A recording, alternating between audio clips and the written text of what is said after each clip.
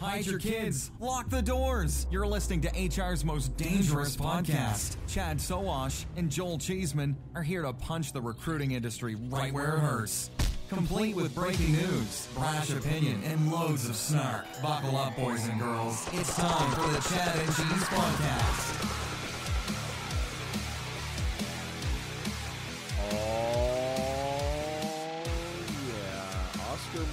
Is changing the name of the Wienermobile No. to Frank Mobile.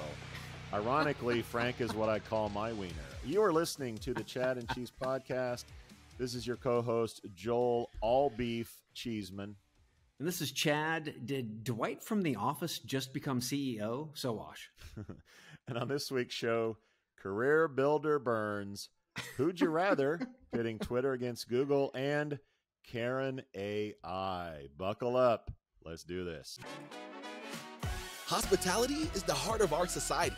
It brings people together to share great food, drinks, and experiences. But successfully managing a restaurant or hotel is no easy feat. That's where Harri comes in.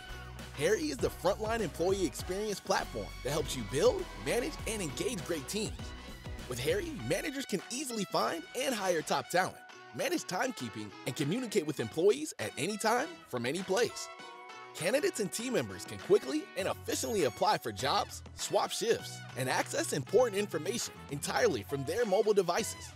And Harri's robust employee engagement tools make team members feel more connected than ever. With Harri, as an owner or operator, you get a bird's eye view of your business from turnover cost, labor cost, employee sentiment, compliance risk, and team performance. Run your business better by understanding the power of your people. Because when your team is the heart of your business, Harri is the heartbeat. See how it transforms your business. So check uh, the new dynamic. You're in you're in happy hour in Europe. Yeah. And uh, I'm at lunchtime in America. I'm not sure how that's gonna go. Mm, beautiful. New beer. Local. Local. Sena, Seneca, what does that say? Senesha? Senescal. Senescal. Senescal. yes, Senescal. Okay. Cardinal Yeah. Ale. Cardinal Ale. Religiously multi ruby ale. So, um, yeah. So we're- monks monks are making it at the uh, the uh, the Templar Knights. the temple down. The, yeah. No, literally, the Templar Knights, one of their last strongholds, is really close to here, and this is where they brew the beer. Okay. I should you not.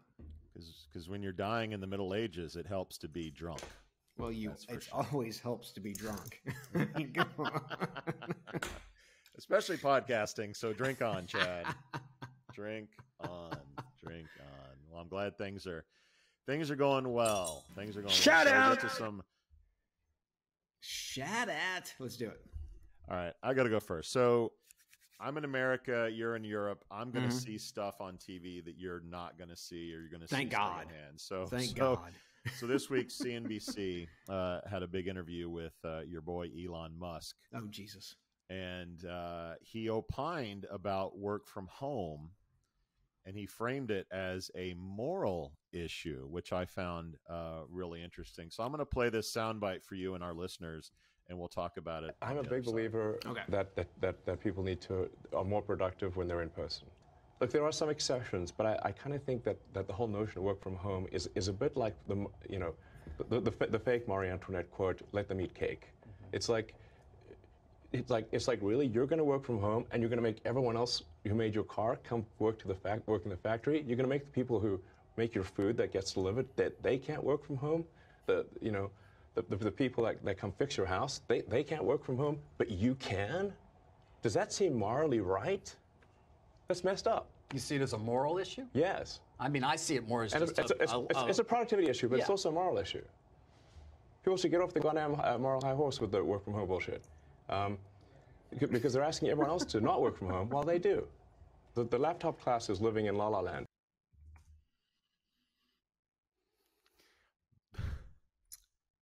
Hello. The Hello. laptop class is living in La La Land. What do you think about that, Chad? Uh, I, well, I think it's pretty simple. I mean, this is what the this is what the rich guys have always done. They've pit the middle class against the lower class, right? Against the low wage class. They've always done that. So it's like, don't look at us and the million slash billions that we're making in super yachts and all that other bullshit, right? Now I know Elon likes to say that you know he he sleeps in his office and that kind of shit. That's just because he's a weird fucking nutso job, right?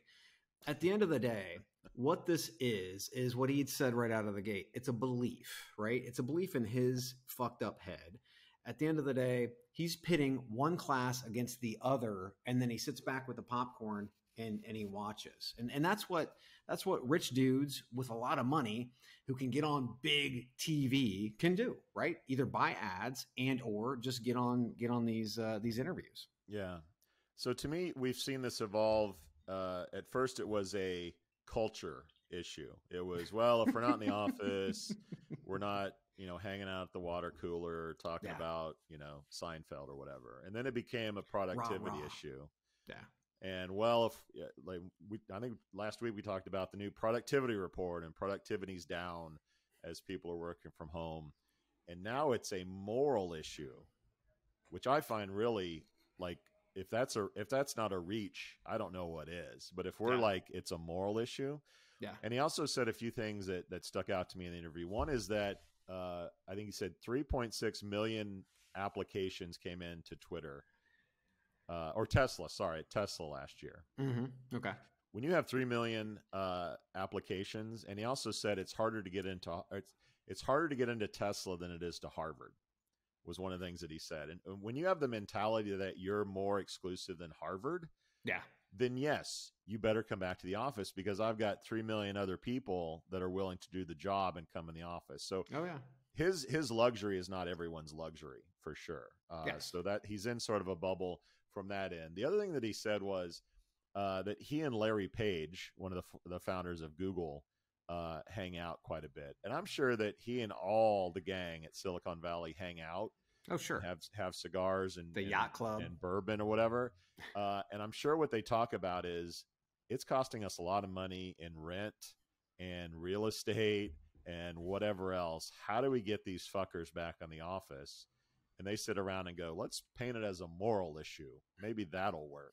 And this is the latest uh, latest thing. So I don't know. Moral issue Yeah. is a real reach from my perspective.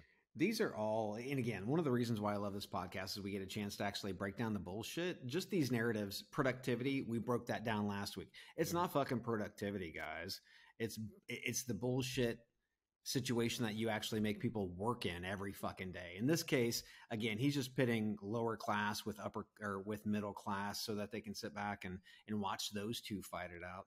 Uh, yeah, the last thing I want to do is listen to a, the, the richest man in the world tell me how we should actually fucking work. I mean, Yeah. it's it, it's well beyond him at this point. Yeah. Not to mention, I mean, he's the guy who actually went into Twitter and had his all of his engineering staff re-engineer his account so that he would actually be more popular than some of the other influencers that are out there, right? So I mean, this is where the guy's head is. It's all about him. Has nothing to do with anybody else. Mhm. It's all about him. If you want to worship Elon, great, you should, and you should work at Tesla. and for 3.6 million people, that's exactly what they want to do. That's There you go. exactly what they- Well. I'm gonna I'm gonna switch it up. I'm gonna give a shout out to a startup, AdSee, uh, and I'm, I'm I'm going to shout out to AdSee because the organization you, we literally just did a shred on them, right? Yep. And they were part of a laundry list of organizations that were in it. But Vlad, the founder and CEO over at AdSee, who's in Kiev, by the way, Uh-huh. first and foremost, if somebody talks about you, amplify it. Fuck, get it out there, amplify it. Number one, uh, no matter whether it's good, bad, or indifferent, you can actually turn a negative into a positive, or at least a first, you know, a, a, perceived negative into a positive. And we see this from so many companies when we do buy or sells or we have opinions during our podcast or what have you where some companies the smart ones they want to help control the narrative Mhm. they reach out to us and they say let's talk through what you're saying We want to know more about what you're talking about and or try to educate you on what we're trying to do in the market. To me, that's trying to control the narrative, trying to be smart. We have big companies who have gotten unicorn cash who we Mhm. talk about never reached out to us at all. Now some have, don't get me wrong, Yep. but to me it's a huge brand fail for an organization not to amplify what's being said about them one way or the other. In this case, a little bitty company out of Ukraine called AdSee was like, Uh-huh. "Holy shit, let's amplify." So, big shout out to them. Yeah, and by the way, what happens when that happens is Chad and I share it, we like it, and then you get to access our tens of thousands of followers on LinkedIn. So, Yeah. in addition to good practice, it's pretty good marketing strategy. As of this recording, AdSee, that's A D S E E, has 14 uh, followers on LinkedIn. Let's see Ratchet if we can that get that up a little bit, uh, if nothing else, just because of what they did. That they went, they went deep, Chad.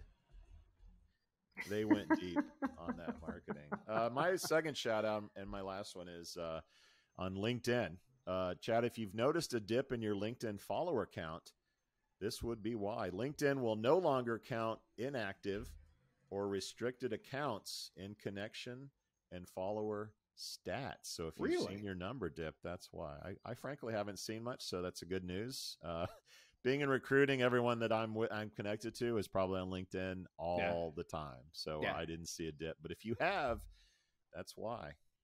No dip here, kids. Uh, shout out to Lorray uh, Porter. You might remember Lorray because she's the director of all things cool at uh, Penn Entertainment. She was on stage with us in California during iCIMS Inspire. Now, Lorray went above and beyond. She actually took the panoramic view of us on stage and she made that her LinkedIn background. And, and I just have to say, I saw it, I laughed my ass off, and I loved it. Thanks, Lorray. And I can't wait till we see you again because you bring the best beer. That's right. If you don't know Penn Entertainment, they do gaming, Chad. And if you're not playing the game at Chad and Cheese, which is free shit, Oh, well, you yes. are a loser, my friend. You are a loser because we're giving away, get this, Chad, free t shirts from our friends at JobGet, Oh. free bourbon from our homeboys and girls at TextKernel, free beer from Aspen Tech, Tech Labs. And this Mm. month's winner for free beer is Brittany Kaiser.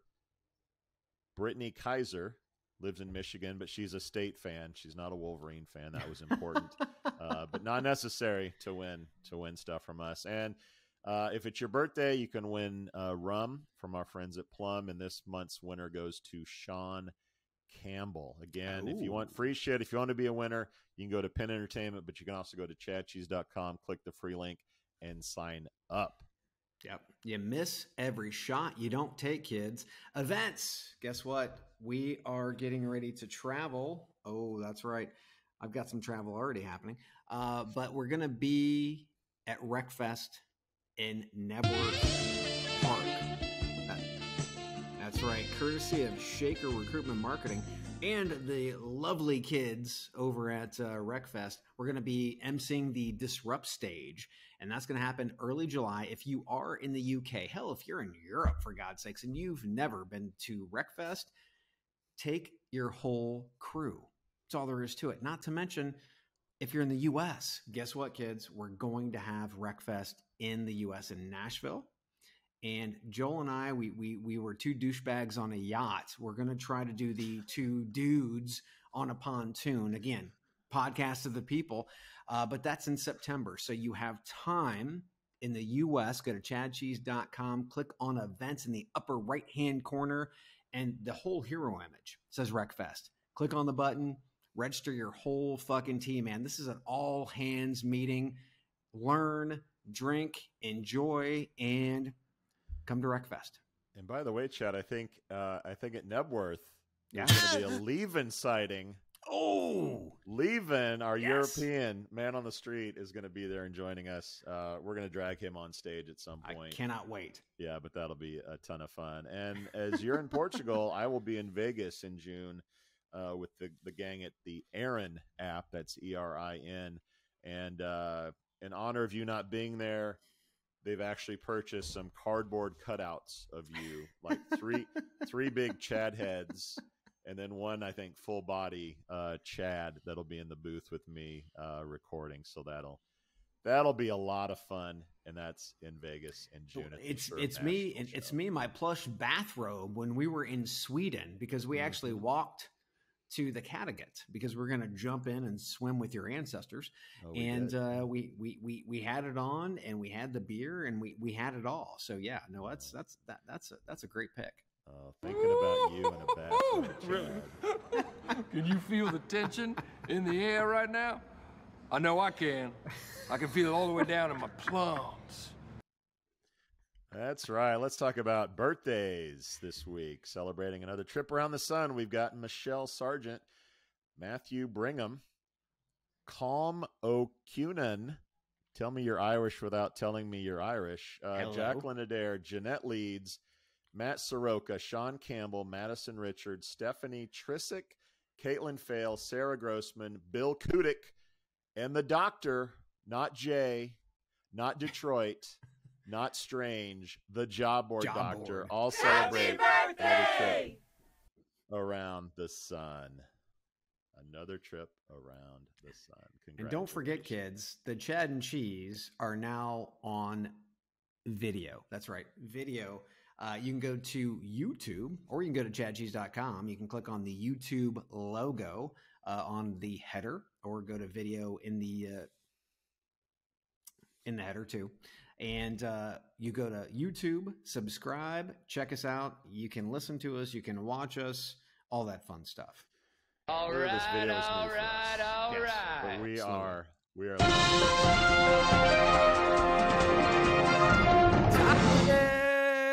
Topics.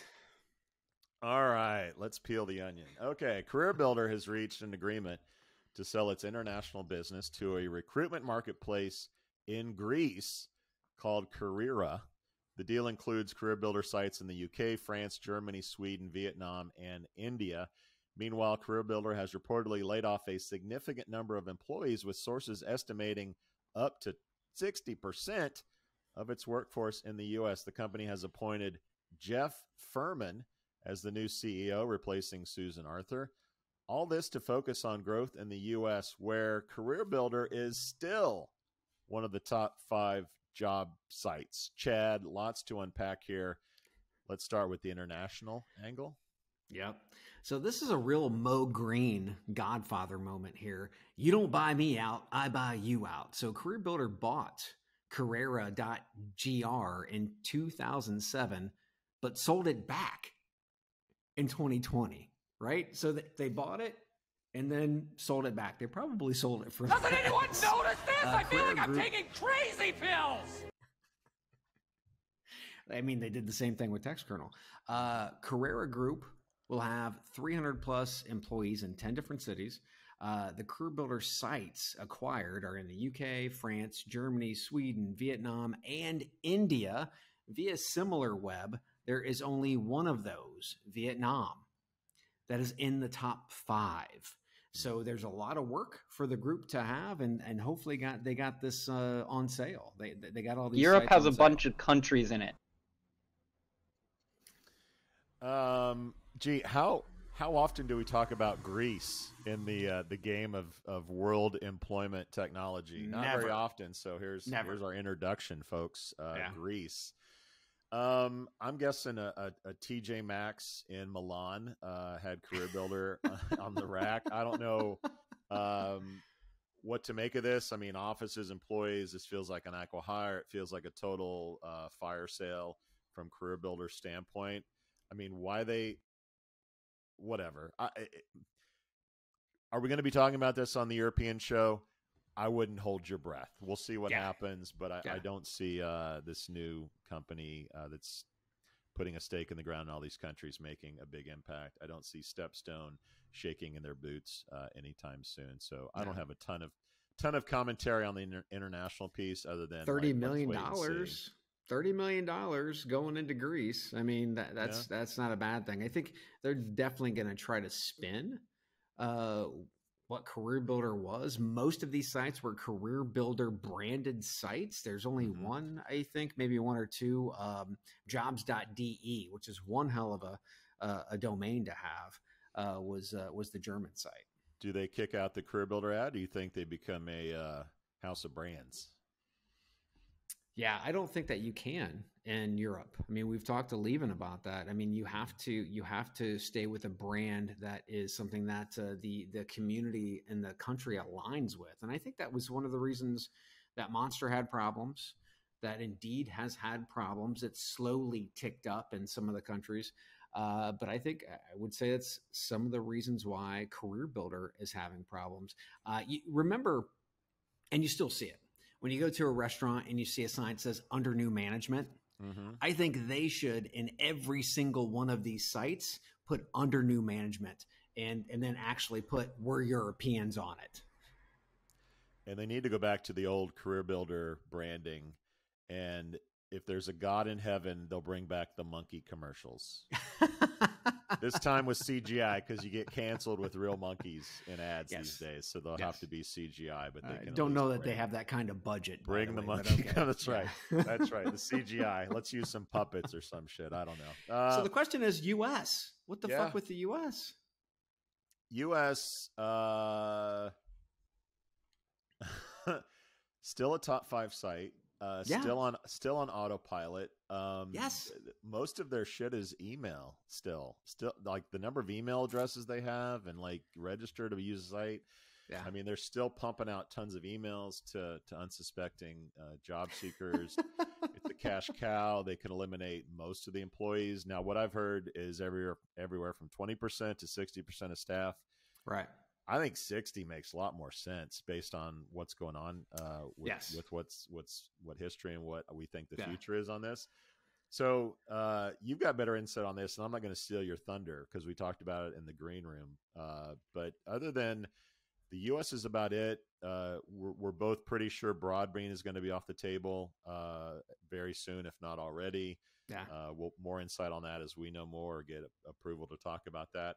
But you have more insight on what's going to happen in the U.S., and I don't want to steal your thunder. So you go ahead and, and give your opinion and insights. Yeah, I think right out of the gate. I mean, top five. I mean, from from my sources, Career Builder is making over a million dollars a month in arbitrage alone. Arbitrage alone, you can effectively run the operation on a skeleton crew just for arbitrage, depending on the amount of tech debt you're facing. Hell, you could switch to a job board in a box at that point. You can kill the tech debt and still get the cash handsomely, right? So we'll talk more in depth about the CEO change in a minute, but I, I don't think you bring in a guy like Jeff Furman to finish off a Career Builder USA deal or a Broadbean deal. I believe they're all, they're both already done. Yeah. And that's one of the reasons why Sue Ar- Arthur walked out the door. There's no way in hell you let Dwight Schrute do this. I mean, Yeah. that's all there is to it, right? So, I, to me, and again, this is mostly opinion and vibes that I'm getting from my sources and, and from uh, the industry itself. There's a shitload of cash that's there. Yeah. There is an asset. It, it could be almost on autopilot to some to some extent. Uh, I think both those deals are done, and there's nothing but turning the lights off, kids. So if it was an acquisition target, any guesses on who might come in and uh, pick up the yard sale rubbish? Yeah, that's a good that's a good question because this is like this is core career builder, right? This is this everything was built around this. Mhm. So the question is, does Apollo have fatigue after this? And I don't think that they would because they th- this is what they do. They carve up companies and they sell that shit. So I think they're they're going to get a good price out of it. Who would buy it? To be quite frank, if in, Indeed could smash it or they could buy it, Mhm. right? I think that's smart. Uh, anything anything beyond that, I mean, it's it's up in the air to me. Yeah. I mean, I because all you're doing, if you take a look at some of their acquisitions they've had over the years, some of the big ones, Career Mosaic, we know that name, right? Because we've been in the industry for a while. Yeah. Career Path. You go to those domains today, they don't go anywhere. Headhunter.net. Head, they don't go anywhere. they don't resolve. Yeah. It's like, oh my God. So there are all these domains and whatnot that they're not even doing anything with. I don't even know if they understand the value of those assets Yeah. or even if there is a value anymore. Yeah, I mean, from my perspective, Indeed would be interesting. I think Indeed has enough problems uh, going right now to deal with that. If I were, and we talk a lot about companies in Europe coming to America, like a job and talent could come in uh, and buy this thing up and have instant brand, instant user base. Stepstone. Stepstone. Yeah, if if you're if you're looking to come to the U.S., Career Builder seems like a really nice uh, door to uh, to the market with customers, with users. What, Right. Regardless of what you do with the brand after time, uh, no big deal. But if you can get a foothold through Career Builder, um, that seems like a pretty good strategy to me. and if- you're not you're not buying the tech you're buying the lists you're buying the portfolio because the tech from my understanding again is shit Yep. 20 Yep. years old 20 years old it's shit and they've juiced everything out of that, that tech they possibly can so it's got to be an operator who already has tech in place Yep. uh, and and there you go Yep, slap their logo on your brand, and and you're done, and move Yes. over all their data and customers, and you're good to go. So you, you Yep. mentioned your commentary on the CEO. Yeah. Um, I'll go ahead and mention uh, Sue Arthur, who came in in 2021. She barely had enough time to put her stapler on the desk uh, before this shit went down. And yeah, you're right about uh, Jeff Furman. I mean, his LinkedIn profile. Uh, if you had white bread on a profile picture, like that would be Jeff Furman. like he was VP of facilities in real estate uh, Yes. before this position. Um, doesn't really inspire a vision for the future. Uh, No. at any rate, so uh, more of the same with uh, you know managing the. Uh, he's in the cockpit. Who's driving really, and, and this thing's on autopilot, whatever. I hope, I, Jeff. I hope you have a good parachute to jump out of when this when this thing goes down. But yeah, uh, they, it's like they picked one of the few guys left and said, "You want to be CEO?" Like, sure, I'll add that to my my resume. And Jeff Furman, congratulations. Yeah, as soon as I heard this, I, I automatically thought of Dwight from The Office. It's like, who do you hand the keys to? Because who's going to be the only one left standing? It's going to be that Mhm. fucker, right? Uh, yeah. So seriously, today, May nineteenth, twenty twenty three, Jeff Furman, their C is their CEO. Going a little bit deeper into the LinkedIn highlights, he was the director of real estate real estate at Johnson Controls, the chief procurement officer and head of global real estate at Amex. Uh, eh, responsibilities were for all global real estate operations, including transaction, uh, project, and facility management, as well as strategic planning and lease administration across across a global portfolio. Jeff was hired at CareerBuilder five years ago for this specific reason to sweep up, turn off the lights, and lock the doors because everybody's gone. If Jeff's profile page was a soundbite. so layoffs, real quick. Are you in the twenty percent camp, the sixty percent camp? Uh, Oh, where are you? Definitely more toward the 60%. Yeah. I mean, at this point, they're trying to lean out. Uh, Broadbean Career Builder, I personally think they're off the table. I, I think they're done deals already. So those those individuals will obviously those are those are individuals that will go with those organizations.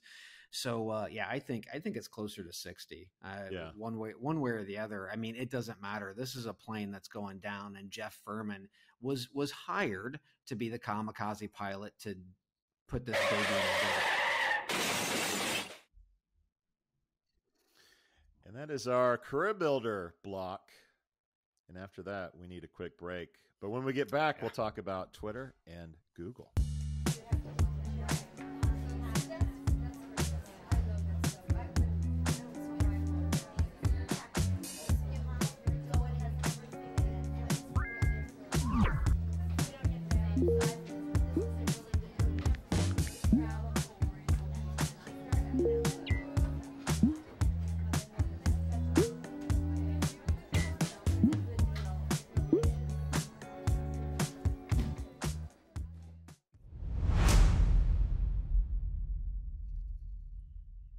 Chad, let's play a little Who'd You Rather with some heavyweights, Twitter and Google. These aren't two startups in HR tech. These are these are big companies. So two of them made news this week. Two have pretty big aspirations. We're going to break it down and, and, and give who we'd rather pick in this decision. So number one, we have Twitter. Twitter has reportedly made its first acquisition under your boy Elon Musk's leadership, purchasing a fellow San Fran based job matching tech startup called Laskie. Reports say the acquisition aligns with Musk's vision of transforming Twitter into a multifunctional super app. The exact acquisition price is not disclosed, but Laskie had raised $6 million. According to Crunchbase, founded in 2021, they employed 26 people. Now to Google. Gloves are off. Google announced new conversational features for its search engine and made its Bard chatbot accessible to English speakers. Google's updated search engine uses AI to provide detailed summary responses and allows users to ask follow up questions in a chatbot like manner. Google also announced upcoming enhancements to Bard, including image responses using Google Lens image search and integration with partner applications like Adobe, Kayak, OpenTable, ZipRecruiter, Indeed, and the Khan Academy. Chad, who'd you rather, Twitter's super app or Google's search enhancements? This is the worst superhero I think I've ever seen. It kind of reminds me of like the the Facebook for Jobs thing that happened. Uh, mm-hmm. Twitter with Jobs, Elon is all over the board. No focus. Wants to be an influencer. Uh, Twitter is nothing but a hobby for him. But on the other hand, Google with generative AI search, this is about survival for Google. Last week you mentioned Google seeing OpenAI as uh, you know really a huge threat to search, right? Uh, and to their model, to their to their advertising model. OpenAI has created a subsi- a subscription based model where Google search entirely predicated on advertising. Instead of just packing up the search tent and putting everything into Bard, which they could have done, uh, which more than likely would have been and will be subscription based, Google was forced to evolve the search experience by folding in generative AI, which will allow for text and voice interaction, not to mention, as you said, image, right? But the result sets will be served up in a new generative AI model instead of the old timey search algorithm that we've known since you know like the, the 2000s. Mm-hmm. This will allow for a new and better experience with the ability to keep advertising and then start charging subscription, aka freemium models, mm-hmm. which are big again, uh, through Bard. It's the best of both worlds and evolves more than just the UI of Go- uh, the Google search product. This is what Google needed to get away from the good old algorithm they've been tweaking for 20 plus years. So you'd rather Google. What are you A doing, step bro? All right. Twitter. Okay, super cool and interesting that they bought a company in our space. Did not see that coming. But it's really weird. Uh, they basically shut they basically shut it down. Um, usually, when somebody buys a company, like the company's website is still up, um, there's a big thing on the header like, "Hey, acquired by so and so," and then click here for the press release. Like you go to you go to Laskie.com today, and it's like, "Eh, we're not working anymore. we're just done. There's nothing there." So it's like, why the hell would you buy this thing? Uh, Six million dollars isn't a lot of investment. I mean, San Fran based. For all I know, uh, Elon hated the founder and wanted to buy him and shut him down. Uh, for all I know, he wants to hire everyone that's working there and make them Tesla employees or Twitter employees. Maybe he wants access to the database of tech workers uh, to come work for his company, and he wants to just give them to his recruiter base as a, a an ego or quick way to get resumes. But if he's getting three million resumes a year, I mean, does he really need more profiles and resume? It's just really fucking weird. I wish I had an insightful comment about what the hell Twitter is doing buying Laskie. Yeah. which we never talked about on the show, by the way. No. Uh, so I, I got nothing, man. Usually I have something to say. I don't know what the hell Elon is doing. Uh, the super app thing, you know, could I see could I see Twitter having profiles like LinkedIn where they're more professional, maybe some basic professional information or Mhm. or degrees or credentials? Like, yeah. Is this that? I don't think so. Maybe. I don't it I don't know. Like payments are going to come in. He talked about Tesla automated driving, so that could be done through Twitter maybe. I don't know. It's just really weird. Now Google Who trusts Elon with their credit card information? Google Google like All watching right, the all demo. right, all right. Okay. fucking the- sexy. The gloves are off at Google. Somebody at Google said, "You know what? We've been scared to launch this shit. We've been like thinking about humanity and our survival. Fuck it. We're dropping the bomb on everything." So, um Bard is impressive. I mean, it's still not What's cool about Bard is OpenAI is uh, 2021 was the last time that they source content. Unless you feed stuff into it, it's it's old. Bard is like real time. You can ask a news question and it knows like uh, in real time almost. It can comment and, and tell you what's going on in the news, which is Yeah. exceptional. Google is leveraging everything they have in their arsenal, which OpenAI does not have. They got to build Scale. that shit up. Google's like, we got a whole mansion of shit. We're gonna dump it in and like fuck shit up. This is Step Brothers walking into the interview. We're here to fuck shit up. That's what Google did uh, with this demo. Now, what's interesting to me as well is I'm always curious about who are they going to kill in our industry? Like, who's in trouble? The first obvious one, the textios, the job description things. I think anyone that helps you write a resume is probably fucked uh, through what's going on now. I was searching on Bard. Was it what is it like to work at name a company? It was able to tell me Glassdoor style, Indeed review style, news and the whatever style, what it's like to work there, the good, the bad, the ugly. Like there's real potential to like fuck Glassdoor and Indeed reviews and Blind and whoever's doing reviews is fucked because I can go in and find out what it's like to work at any company. Yeah. I don't have to go to your site, which may or may not be true, and like what's what's seeded, what's fake. You know, I mean, I think that's a real issue with these sites. Mm-hmm.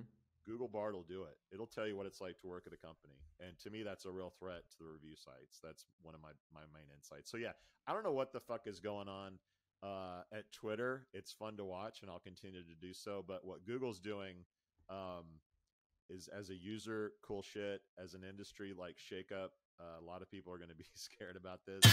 Uh, Google for sure is who I'm who I'm picking uh, in this debate. And as soon as they get their head out of their ass with regard to job feeds and they just go over to Google for jobs because all that content's already ma- marked up, I, new fucking game, big boy. New fucking game. Yeah. If and when you can say, find the perfect job for me, and it can just give you shit, like, that's. Anyway. that may or may not Sixty be percent of the time, it works every time. All right, let's talk about uh, some some company getting some bucks. Uh, Indianapolis-based Qualifi has secured 4.5 million dollars in funding to support its growth and development. This brings total funding to 7.7 million dollars. Qualifi Qualifi plans to use the funding to enhance its hiring platform, establish industry partnerships, and address recruitment challenges. The company aims to streamline the hiring process and provide a memorable candidate experience through automation and asynchronous phone interviews. Chad, your take on the news from our Hoosier brothers and sisters. Yeah, so Darian was on Firing Squad about a year ago, and I believe we both gave him a big Yeah, so there's there's one thing I look at, uh, as a priority and align most of my weight behind whether I'm looking at a yes or no decision when I'm assessing a startup. It's not the domain name, it's not the colors, it's not the brand, it's not the tech. What matters is the founder, the CEO, the visionary, the voice box. And I think Darian is a winner. He's personable, he's humble, moldable, uh, but most of all, you can see the sparkle in the guy's eyes. I mean, the, the, vision is clean, the, the platform is clean. And that's the reason they oversubscribed. I also think it's smart that, much like Adam Gordon did with crowdfunding, you set the bar low and then you mm-hmm. blow it out of the fucking water. So, I mean, in summary, for me, I don't like the koala. It doesn't matter. I don't like the colors. It doesn't matter. I really don't like that they don't have pricing on the pricing page teeth when I say this, but it doesn't matter. But what does matter is that I like the tech, the vision, and most of all, Darian is a fucking winner. And he's he's in a space that is very crowded, yeah. very crowded. But I think they do have the guy at the head of the table, the vision, and everything necessary to make this win.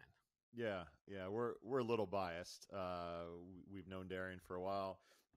Just a just a solid guy, uh, just someone you want to hang out with. Uh, which, which I think we only had beers with him once, though, right? So I mean, you know, we've seen him several well, he's times. been at shows. He's been at conferences. Oh yeah. I mean, I he's, he's around. Everybody uh, has. But uh, just just I want to say a sweet kid, but he that's maybe a little. He's just a sweetheart. Uh, so yes. Indiana, we're biased. I mean, uh, he's a black founder. Uh, we're biased. Uh, we love seeing that. Um, we love seeing the organic growth, like you've mentioned. Uh, they were founded in 2019. This isn't some one year old company getting $10 million. They've grown organically. Um, they employ 25 or so people. Uh, most of them are Hoosiers as well, so that's that's uh, that's nice to see they've just grown organically, done it right, um, and we just that's always something that that appeals to us. Um, the thing, the thing is, like the whole voice interview, chat interview, texting.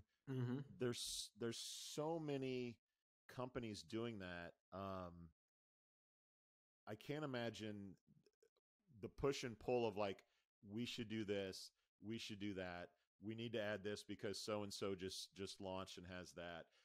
Qualifi's done a really good job of focusing on what they do best, uh, honing that, making it yeah. as superior as possible. And, and you and I both love the focus uh, with any startup, and these guys showcase that as well. So you know, I speak both of us. Great to qualify. Keep keep keep it keep it going, guys. Darian, uh, yeah, we'll have to have drinks again soon. Obviously, gonna have to be in August when Chad's back in the states and he's and he's salty and miserable again, uh, we'll have to get him have to get him a drink. And it looks like you need a refill, Chad. So let, let's take a quick break and we'll talk about Karen with a C.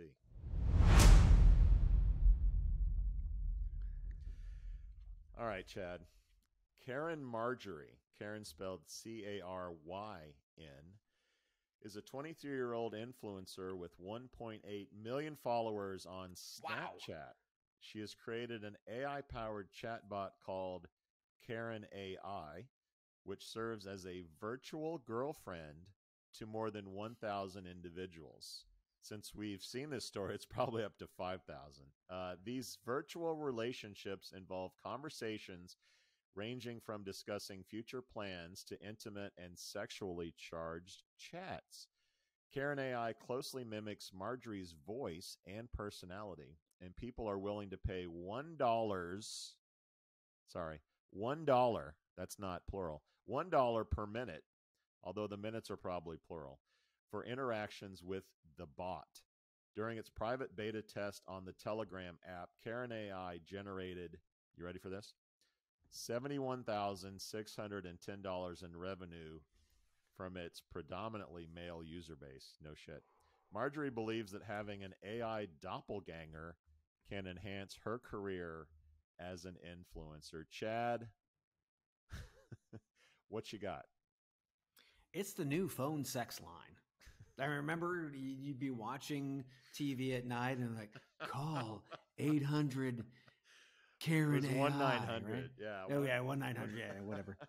but I mean, you think of it though, seventy one thousand dollars in a week. In a private. In a week, kids. in a week. So, uh, okay, just my mind's gonna explode here. Imagine coupling this with video, synthesized video, right? Because this is already audio. OnlyFans would fucking explode with content revenue, and well, let's let's just leave it at that. It would explode. Um, several 18 to 25 year old males' heads would explode as well. Um, I listened to the the Hard Fork podcast, uh, which is uh, I think by the New York Times. Uh, from February, where one of the journalists slash podcasts podcasters um, went into a fatal attraction like hole with Bing's chatbot named Sydney for two hours.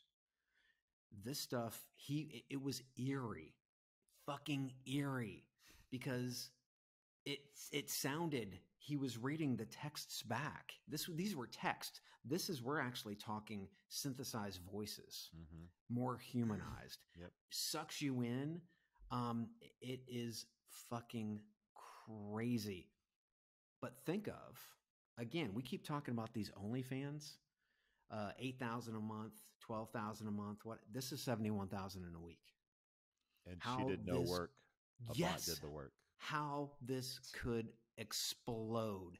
She has a portfolio of pictures. You jump into the chat bot.